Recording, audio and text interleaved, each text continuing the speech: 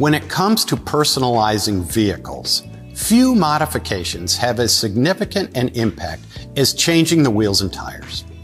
Custom rims and altered tire sizes can dramatically transform the appearance and performance of a car or truck. When choosing new wheels, it is essential to consider factors such as bolt pattern, offset, and load rating to ensure compatibility with a vehicle upsizing to bigger tires is a popular modification among car enthusiasts.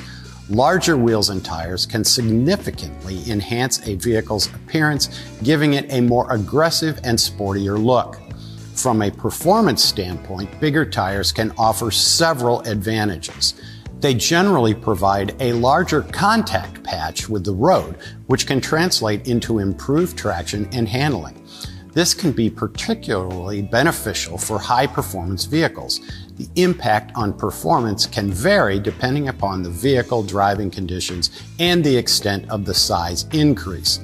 In some cases, excessively large tires may actually hinder performance by adding unnecessary weight or altering the vehicle's gearing. While upsizing tires is a common trend, there are situations when downsizing can be advantageous. Smaller tires can offer benefits in terms of acceleration, fuel efficiency, and even handling in certain scenarios.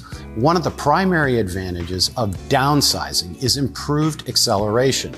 Smaller, lighter wheels and tires reduce unsprung weight, allowing the engine to spin the wheels more easily. Additionally, smaller tires typically have less rolling resistance, which can contribute to better fuel economy. However, it's crucial to maintain an appropriate tire width to ensure adequate traction and stability. One often overlooked consequence of changing tire size is the impact on your vehicle's speedometer accuracy.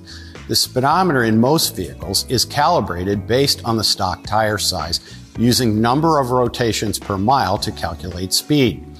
Larger tires will typically cause your speedometer to underreport your actual speed. Conversely, smaller tires will cause your speedometer to overreport your speed.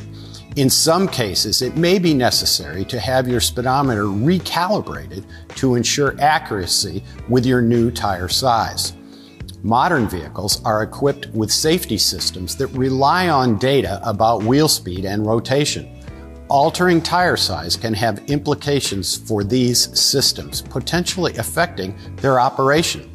Anti-lock braking systems, electronic brake control, and traction control all use wheel speed sensors to monitor the rotation of each wheel. When we change the tire size, we alter the relationship between the wheel rotation and the vehicle speed, which can confuse these systems.